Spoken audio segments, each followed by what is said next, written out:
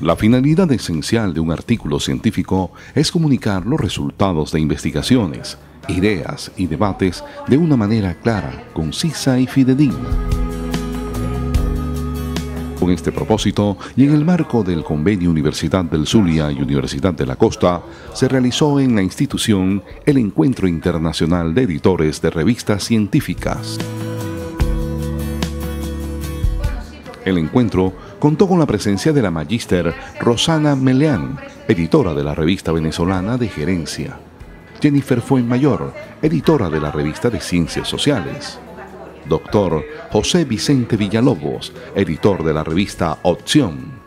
Jenny Romero, directora del Instituto de Investigaciones de la Facultad de Ciencias Económicas y Sociales, FCES, todos ellos de la Universidad del Zulia. Durante su intervención, el rector de la Universidad de la Costa, Tito José Crisien, instó a los docentes presentes en el encuentro a trabajar arduamente para posicionar a la universidad y sus trabajos de investigación en el primer grado sugerido por Colciencias.